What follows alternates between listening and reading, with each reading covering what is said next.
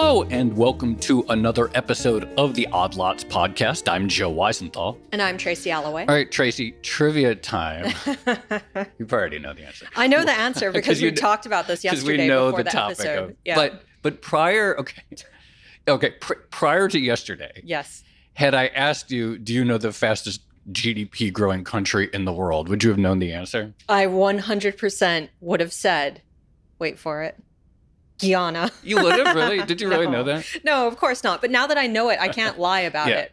I can't reverse engineer my lack of knowledge. Uh, Guyana, Yeah. which is kind of surprising, you know, relatively unknown South American Yes, country. People small. don't talk about it that much. No.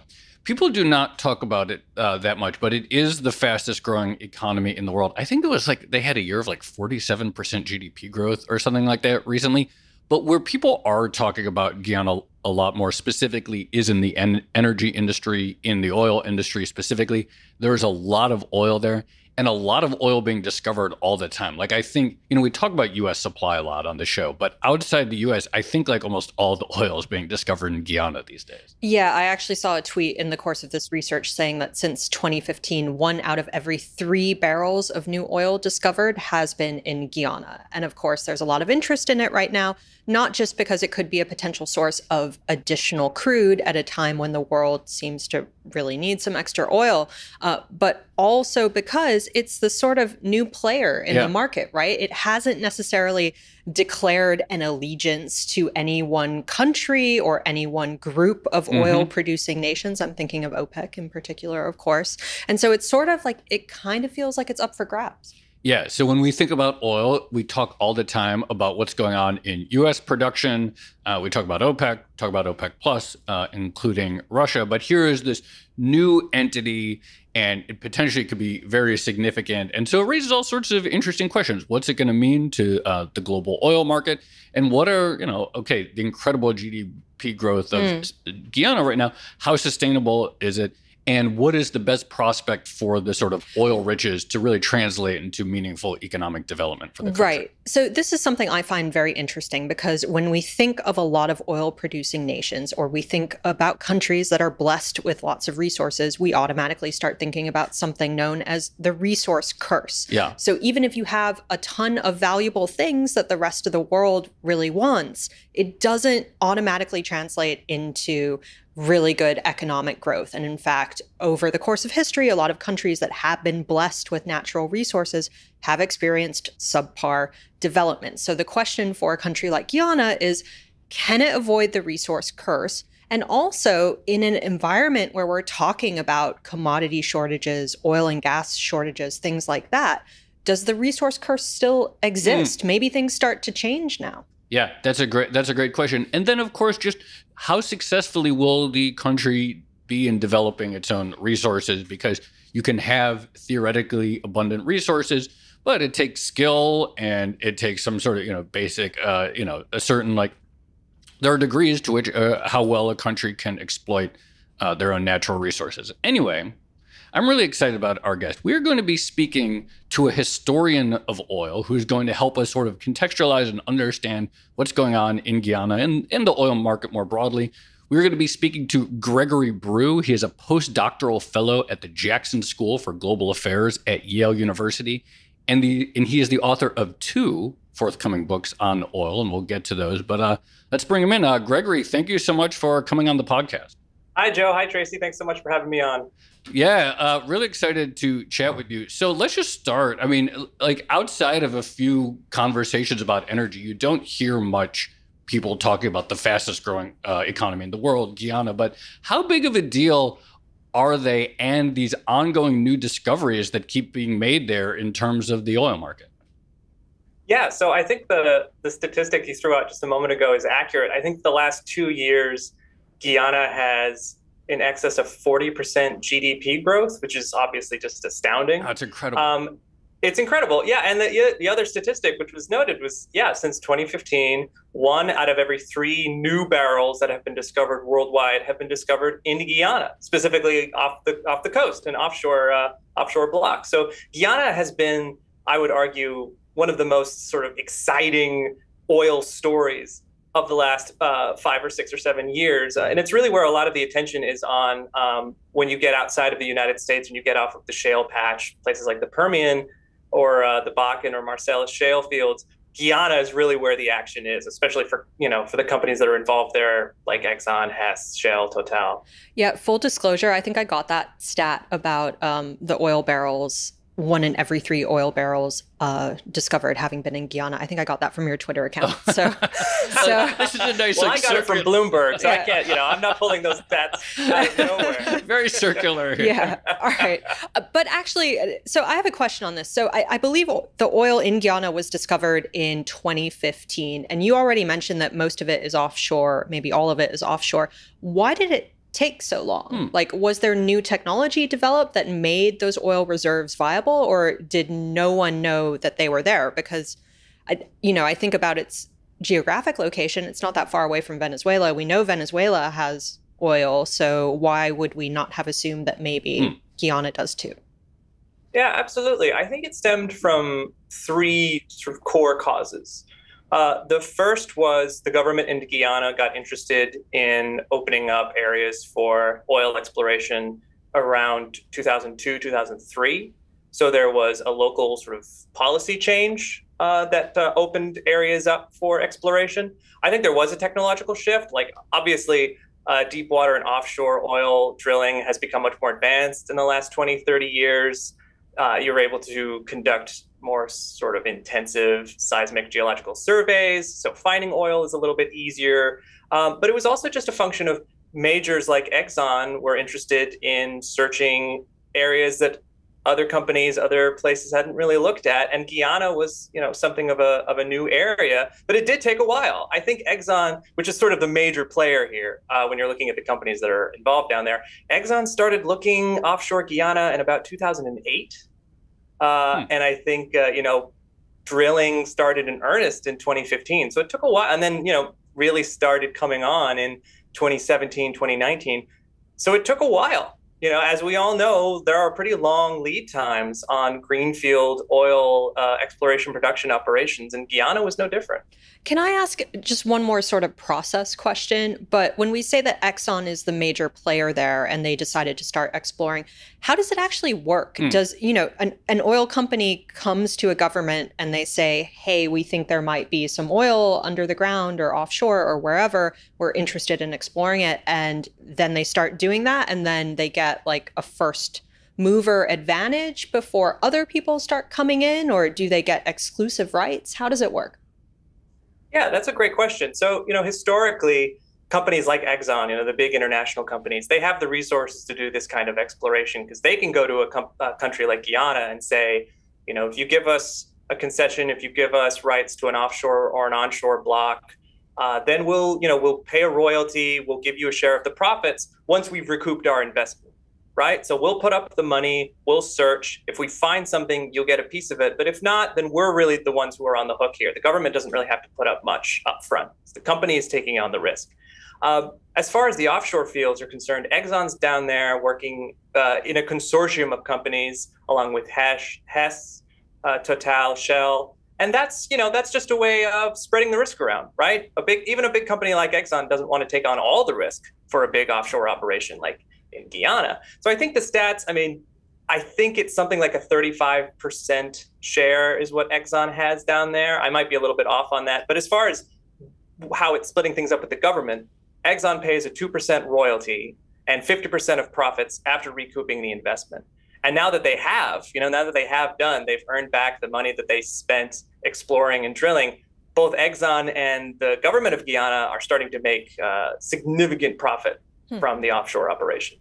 So I've seen some stories, and I'm not exactly sure what's going on, but is there some thought within the government there to just set up a state-owned oil company and cut out these international majors because it's still like their oil they set the laws like what is the sort of stance currently in terms of uh, uh, the sort of future of this relationship i guess i'd put it Right. So the relationship is still fairly new. You know, we were operations have only really been ongoing for a couple of years. Guyana is a fairly small country. It has a population of about 800,000 people, I think. a fairly small, underdeveloped economy outside of the oil industry. Uh, and I think as far as setting up a state-owned oil company, I don't think the government is there yet. But I wouldn't be surprised if uh, you know if momentum started to build towards that, because you know if you look at history, if you look at how uh, these things have gone in places like Venezuela, Iran, Iraq, Saudi Arabia, generally speaking, foreign companies, very often American companies, they come in, they put up the investment, they do the exploration, they start production, and within a few years, a decade or so, the local government has built up the resources, the technical know-how, the proficiency that it needs to set up a national oil company and to start thinking like hey why do we need these foreign companies to do this? We can operate this industry ourselves. Then you start seeing momentum towards nationalization or taking a more significant share in the operation. I don't think that's started yet but i wouldn't be surprised if the momentum builds towards that in the next few years. So we've been talking about corporate interest in guyana's oil. What about I guess, interest from a sort of sovereign, hmm. strategic, political level. If Exxon comes in, starts developing the oil, Exxon is an American company, does that like automatically equate to suddenly Guyana is going to be America's new best best friend and maybe a sort of offset to, um, you know, uh, OPEC countries and Saudi Arabia, which doesn't seem to be playing ball with the Biden administration at the moment? I'm not sure if there's really much focus on that quite yet because it's still fairly early days. Um, I think, you know, I think there there is often an association that a company like Exxon works as an arm of U.S. foreign policy, and that generally really isn't the case. Hmm. Exxon Mobil, other U.S. other major energy companies aren't in business for themselves, and they see operations like the operation in Guyana as a commercial operation. Uh, I don't know if the U.S. government sees it that way. I don't know if there are discussions with, inside the Biden administration about getting closer to Guyana, trying to form a closer relationship with an eye towards developing, you know, as you say, sort of relationships relationships with non-OPEC oil producers. But again, I wouldn't be surprised if we started seeing conversations like that if the U.S. relationship with OPEC continues to get frostier, continues to get more antagonistic, I think there will be more interest in that. Again, you know, as a historian, I'm always seeing parallels in history. And this is something that occurred in the 1980s when the US was very interested in moving away from reliance on OPEC. It formed closer relationships with places like Canada, Mexico, Norway, the United Kingdom. These sources of non OPEC oil became much more important. So it's entirely possible that we could see something like that happen between the US and Guyana in the years ahead. So, let's stick with the history theme, your specialty. Is there another country throughout history that sort of has a parallel where it, for a long time maybe people weren't thinking of it as a power player and then it emerged very fast. And so when you see the rise of Guyana, does it make you think of anything else? Sure. I mean, you know, in preparing to come on today, I did uh, I did some background reading. I refreshed myself a little bit on the history of things like the resource curse, yeah. you know, the Dutch disease, uh, the paradox of plenty, all of that, and you really do see stark parallels between what is happening in Guyana and what happened in Venezuela, Saudi Arabia in the 1950s and 60s. These were relatively, you know, you go back 60, 70 years, go back to say 1945, right? The end of World War II.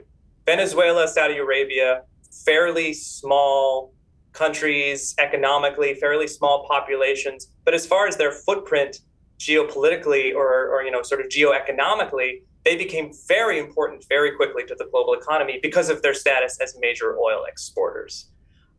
So as far as where Guyana is headed, you know, as the operations continue to expand, you know, right now it's producing about 300,000 barrels a, a day within a year it could be producing a million wow. within three or four years it could be producing 2 million i mean wow. they've had to keep expanding the estimates of proven reserves as they find more and more oil so you know things could just keep going up from here so i think there are definitely parallels between where guyana is and where these sort of more mature or more sort of older petrostates like Venezuela, Saudi Arabia, where they were 60 or 70 years ago. Wow. In many ways, history does seem to be repeating itself.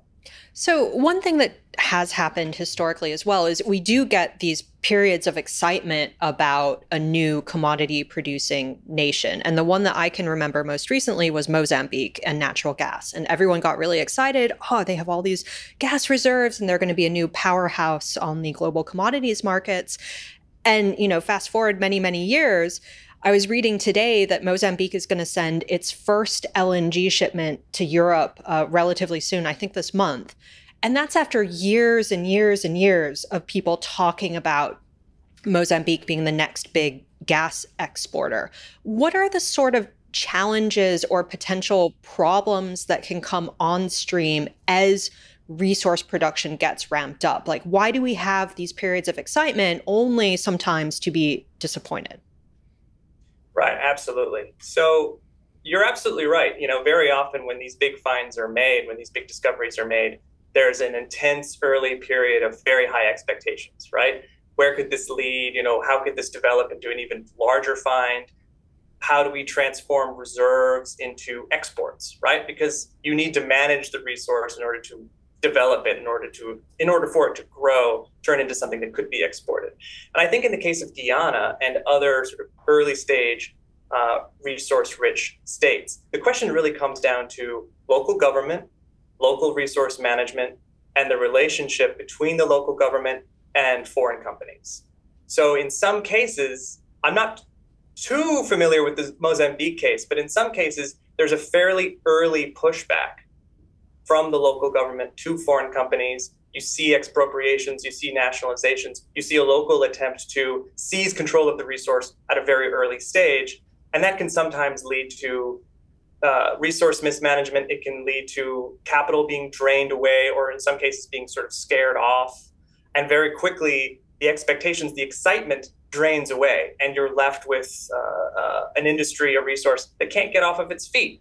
And I think right now, uh, in the course of doing research for this, uh, you know, for this appearance, I was reading a little bit about the Guyana government's attitude hmm. towards mm. Exxon, and they're interested in maintaining a close relationship with Exxon. They have a lot of grievances with Exxon's approach to things like royalty and tax payments, but they're very interested in maintaining this relationship because they want the resource to grow, because they want exports to come on. They're worried about following the footsteps of a Mozambique uh, or even in a, of a Venezuela, where oil industry, the oil industry has you know almost entirely collapsed in the last uh, mm. six or seven years as the result of various state management policies and that sort of thing. So you know there is this early period of excitement, but where it goes from here depends in large part on how the local government decides to act on the kinds of policies it tries to implement and on how it manages its relationship with uh, the big foreign companies. So I have two questions. The first one is kind of short, but when we talk about okay, maybe in, at some point Guyana could set up a state-owned oil company,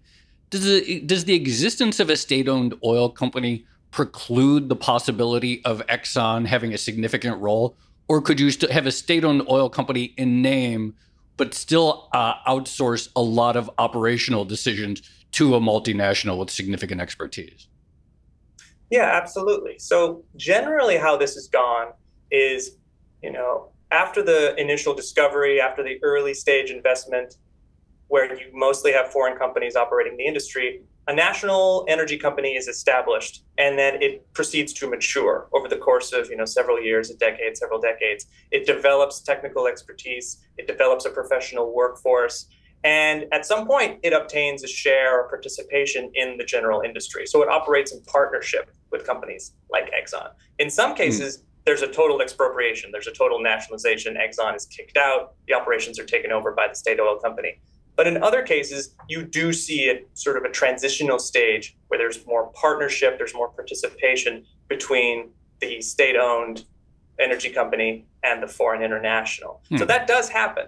And I would imagine, you know, where the Guyana government currently is and where it wants to go, I think, in managing this resource, I wouldn't be surprised if that's the course they decide to take. Establish a state-owned firm, you know, gradually enter the operations, take on an increasing share, and gradually nationalize the industry, keeping a role for uh, you know foreign companies like Exxon to continue to grow the reserve, to continue to explore, and to take advantage of the foreign technical expertise and the foreign capital right? So even if even as they develop you know greater resources and greater earnings they're still going to be looking for foreign capital to further develop the industry. So what does history say about the countries that have done this best? Not just in terms of building out their domestic production but distributing it widely so that you know you don't have the sort of resource curse dutch disease phenomenon. What are the best examples of paths that countries have taken so that the benefits really do accrue across the country and you have like widespread economic development? Absolutely. This is the big question, right? There are a few good examples. Um, the classic example that people point to is Norway. Norway discovered offshore oil and gas in the late 1960s. By the 1990s, 1980s, it was a major exporter. It's still a major exporter today and yet it, it doesn't seem to have suffered from governance issues. It doesn't seem to have suffered from you know widespread state corruption, and it's been able to develop its resource uh, efficiently. It's been able to distribute revenues in a, an acceptable and sort of equitable way. Uh, other examples would be the United Kingdom, which discovered oil in the late 1960s in the North Sea, became a major exporter in the 1980s. Um, but there really aren't many. You know, mm. in many cases where oil is discovered, uh, it doesn't generate the kinds of uh, viable positive economic results you want to see. And there are many reasons for that. And one of the reasons for it is that very often, and this is this is some of the one of the more troubling aspects. Very often, the resource is controlled and dominated at an early stage by foreign capital. Mm-hmm. So foreign companies, you know, like they're interested in developing oil. They're not very interested in general national economic development, right? What they want to do is develop resources that they can produce profit from to return to their shareholders. So in states like Guyana, or looking back into history, states like Iran, Venezuela, Saudi Arabia, in early stages of the development of oil industries where you had an oversized role being played by foreign capital, you had these problems around governance, you had these problems around corruption and a lack of adequate economic development appearing at an early stage. And you know, once they had matured, once they had become sort of set in stone, it was very difficult for national governments to correct them. Uh, so the problem of you know what role foreign capital can play in this you know in the, the so-called resource curse is something that I have a great interest in uh, as an academic, as a scholar. Um, but I think it's also something that governments like Guyana are conscious of. You know, we how do we manage this resource adequately uh, on a national level while still retaining the support of foreign capital that we need to develop our industry? Right knowing that foreign capital mm. may not share our same political, economic, and social interests in the development of that resource. That's a huge question that yeah. has faced states throughout the 20th century and faces Guyana today.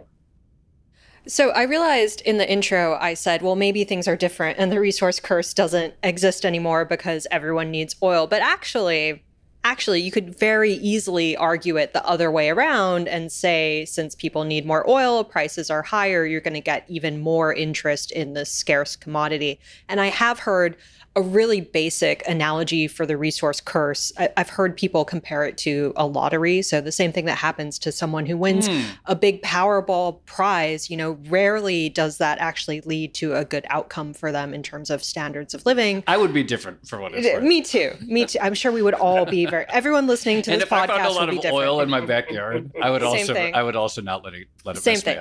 Okay, great. Uh, we've established that. But uh, does an era of resource scarcity does that maybe make the danger of a resource curse more acute?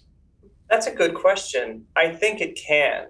And I think part of the reason that it can is that the problems associated with the resource curse often become worse if the price of said resource is perceived to be high and is expected to rise in future years, right? So the temptation to develop a dependence on this resource is very easy to uh, to accept if you think like, well, this is selling, you know, this is selling for $80 a barrel now, but as it becomes more scarce moving forward, it's going to sell for 100 and $120 a barrel in the future. We would be fools not to not to grow this industry, right? We would be fools not to invest in it.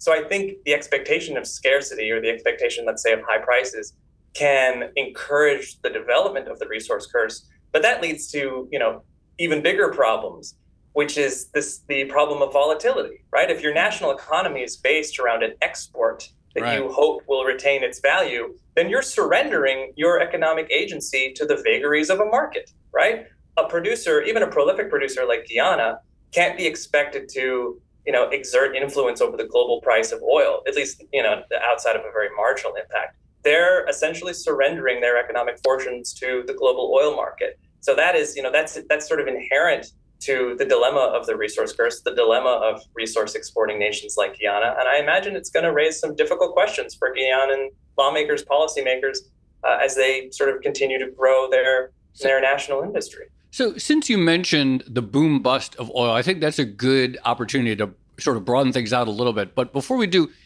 what is the prospect of a future relationship between Guyana and OPEC? It's mm. not currently a member of OPEC.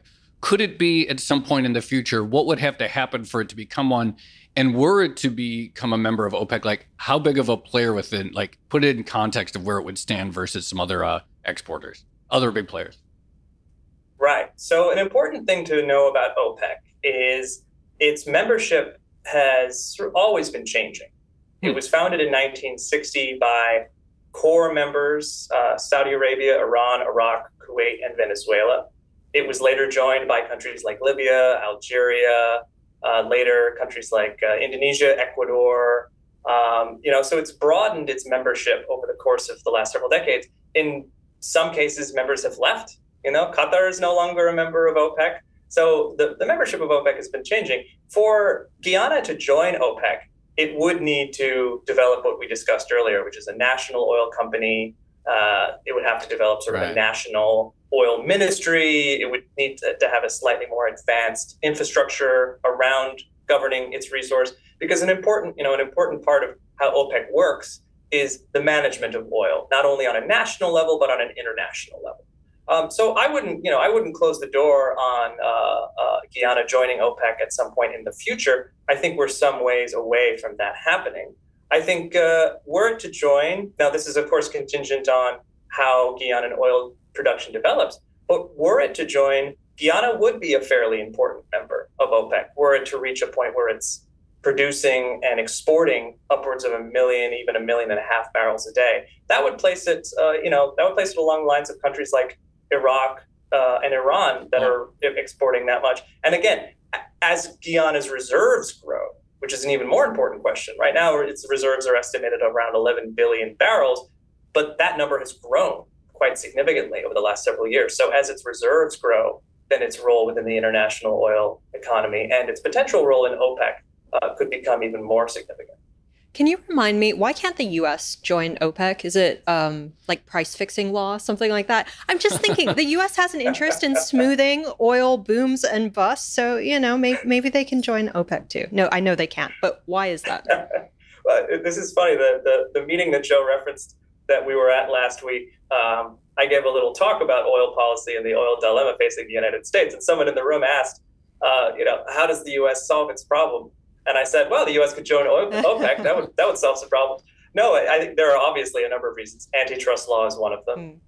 Um, the other one is, uh, you know, sort of a basic question of oil policy. The U.S. has no national oil company. It has really no national oil policy. It has hundreds of private companies that manage oil resources according to you know commercial incentives, market incentives. Um, in the past, the U.S. has had production management policies hmm. uh, that, in many ways, mirror what OPEC does. Wasn't OPEC uh, like inspired by the Texas Railroad Commission? Like, didn't Texas sort of invent OPEC? Yeah, no, yeah. Abdullah Tariki, one of the founders of OPEC, imagined a pro-rationing scheme by which OPEC could manage global oil production, and he modeled his scheme on the TRC, on the Texas Railroad Commission. I uh, took a class in college on yeah. the history of Texas oil, and that's the one fact that I remembered. I don't remember anything else about the class, but I do remember that the Railroad Commission was like this sort of, uh, you know, uh, inspiration for OPEC. So I'm glad I got a chance to use that professionally. Yeah, it, it's the, the, the famous the famous Texas institution with the funny name. Yeah. that does that does something completely different from what it sounds like. Yeah, the Texas Railroad Commission used to manage Texas oil. Um, but yeah, I mean, the U.S. the United States had mandatory import quotas. It had pro-ration production in Texas and Louisiana and Oklahoma. You know, it used to have a lot of oil management, uh, oil production management policies that it no longer really has. So I think, you know, the question of whether or not the U.S. could join OPEC is uh, sort of neither here nor there. But could the U.S. and OPEC work together on managing the global supply, the global price of oil? That I imagine could be a possibility. It would take you know quite a lot to happen. It would take uh, quite a change in the relationship between the United States and OPEC, but uh, I could certainly see it developing in the hmm. future as the U.S. grows into a more important uh, oil exporter, oil producer. Right. So it's not really about whether or not they could join OPEC, but the fact that we're even talking about it kind of highlights this ongoing problem for America. And maybe that maybe that's our cue to get back into yeah. the boom bust stuff. So we have spent the better part of this year talking about ways to bring down oil prices, different ways, whether it's oil companies just ramping up production or whether or not it's something um, more, I guess, uh, complex, like the uh, the derivative solution, the hedging solution that um, Skanda proposed and successfully, um, yeah, you know, got accepted by the Biden administration. But maybe we just uh, jump to the big question is there something about oil that makes it inherently cyclical? Is this always going to be a cyclical industry? Are there limits to the extent to which we can actually smooth those cycles? Yeah. I think there's sort of an inherent volatility to the oil industry, and it's based on just how oil is produced, right? And when I say produced, what I really mean is mined. Oil is in some ways a mineral that's mined from the earth. The problem with producing oil, mining oil, is that you can't store it very effectively. And once you start producing it, it's hard to stop, right? So you can move through periods of scarcity and into periods of abundance or oversupply very easily because managing production can be very difficult. Uh, you have a constant chase for revenue, for profit, because you need to recoup your investment. Oil is a famously very expensive industry to get into. It's very expensive, it's very costly to develop a field. But once you do develop that field, you can produce large amounts of oil very quickly, potentially flooding the market. Hmm. So historically, you know, looking back to the early days of the industry, the 1870s, the 1880s, where uh, in many cases producers would take the oil that they produced from their drills and they would flood fields with it because they had no market for it. They had nowhere to store it. Uh, wow. You see a recurrence of this boom bust cycle throughout the history of oil. But what you also see are efforts by entities like the TRC, by OPEC, and by you know the current alignment OPEC plus, you see efforts to stabilize that boom bust volatility, efforts to stabilize the cycle.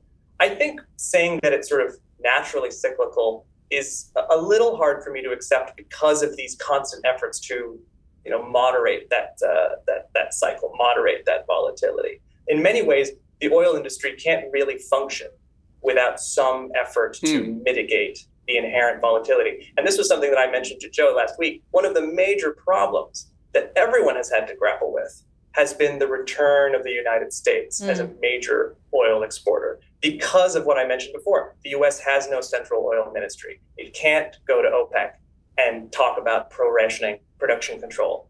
President Biden can give a speech where he talks to oil and gas companies, but at the end of the day, he has very little control over domestic oil production. So this is a big problem, yeah. right? How do you manage a global, a volatile global oil market when your biggest producer has no control? Right. I, I wanted to talk more about this point exactly because I think when the U.S. oil industry really started booming like crazy in the last decade, there was probably some optimism that like, oh, we're gonna like wean ourselves off of uh, or we're we're we're no longer going to be dependent on right oil OPEC independence. Anymore. Trump oil was talking about it all yeah, the time. Oil independence, right? And the, and that oil independence seemed like it was going to be great. And for a while, obviously, the price of oil plunged, but now it's really expensive again. And so, you know, even with all of the U.S. capacity either currently producing or uh, available to produce, it hasn't um, curbed the. It doesn't seem like it's done anything to curb curb the boom bust cycles. And sort of to listen to you it sounds like it's very unnatural and ahistorical to have a significant amount of oil out on the global market that is not subject to some sort of curbs, setting aside like the selling of the SPR. Like that is just very unusual to have this. I guess now Guyana would be part of this, but now there is a lot more and more oil that just isn't part of any production management plan.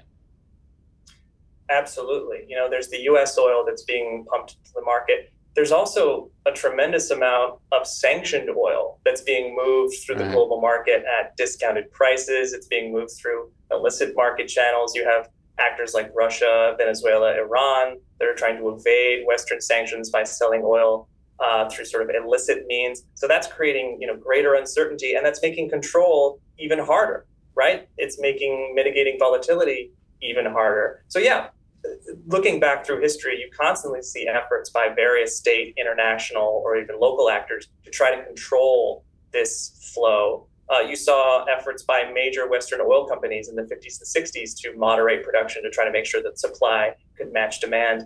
And we don't have a similar structure, a similar Yeah. system for managing that. And the additional problem is that in the past, you know, the past 30 years, it was possible to manage supply with demand because you knew that demand was going to increase in the years ahead. Hmm. And that is no longer Right. a certainty. If anything, we're certain that demand is going to decline. So that's making it a lot harder for private companies, but also for OPEC members to know how much they need to invest, to know how much they need to produce, because there's great uncertainties about the availabilities of markets moving forward. If anything, shortage of market is going to be a bigger problem than shortage of supply.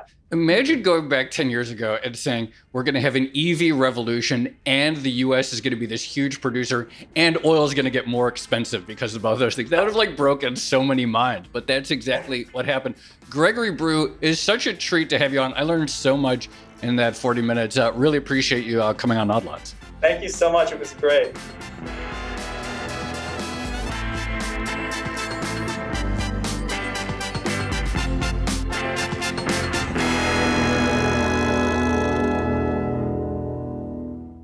Tracy, I really, I feel like I learned a lot in that last episode. Oil history is fun. Yeah, and he Gregory is uh, really good at talking about it and contextualizing it. But I do want to start with that, that last point because uh, it is pretty wild to think we had this huge U.S. oil boom in the last decade. It become the biggest oil producer in the world. We had the EV revolution, which everyone expects is going to curb demand, and yet here we are with like the cost of gasoline surging. Everyone was wrong. Everyone was wrong in all of like the most unexpected ways. It's so weird. Um, the other thing I thought that really stood out to me was his point about how we know that the US has come online as Yeah. a big oil producer, but actually they don't have a lot of ways That's to right. control production, Yeah. which causes problems for the rest of the world. I mean, especially in 2013 when we had the shale revolution and then prices collapsed, Yeah. we saw a lot of that. But now it's the opposite problem, right? Like, how do we get everyone to actually start pumping oil? Right. And, you know, there's a lot of people, like, oh, we need to d- pump more oil in the US. And it's like, why isn't the White House doing more to boost domestic oil? And I don't think it's impossible to think that the White House has levers it can pull that it hasn't. But there's no national, it, it is not Right. like They're the OPEC countries where we say, okay, Yeah. we're going to expand our daily quota to 100 a thou- 100,000 more barrels. Like that, there's just no equivalent of that here. Right. And telling private companies what to do is not No. historically a very like successful American political strategy, I think. Um, that was fascinating. And now I'm going to be following Guyana's Yeah. economic trajectory for years. Well, I think the cool thing about that and what is really helpful is we know that there are so many countries, as Gregory talked about, that have gone through a similar Mm. trajectory, or similar path, find a lot of oil, figure out how to manage the relationship between the domestic interests and the foreign multinationals' interest. So it'll be very interesting to see if, with the knowledge of so much history of other countries that have gone this route, whether uh, Guyana can maintain, you know, this like extremely rapid economic growth, and whether it could be high quality, well distributed growth. You know, the other thing I was thinking about, one of the persistent commodity mysteries to me has always been Morocco and its fertilizer reserves. I think it has like the world's biggest supply of phosphates or something. Yeah. And yet it never actually seems to translate into a significant economic boom. Let's do a uh, Morocco Moroccan fer- Yeah, we gotta do fertilizer episode. Okay. All right. Anyone know any Moroccan uh, phosphate? DM us. Yeah, please let us know. Shall we leave it there? Let's leave it there. Okay, this has been another episode of the Odd Lots podcast. I'm Tracy Alloway. You can follow me on Twitter at Tracy Alloway. And I'm Joe Weisenthal. You can follow me on Twitter at The Stalwart. Follow our guest, Gregory Brew. He's at GBrew24. Follow our producer, Carmen Rodriguez, at Carmen Armen. And check out all of our podcasts under the handle at podcasts. And For more Odd Lots content, go to bloomberg.com slash oddlots. Tracy and I blog there. We post the transcripts. And there's a once a week newsletter for listeners where we talk about all the things and related topics that we discussed on the show. Thanks for listening.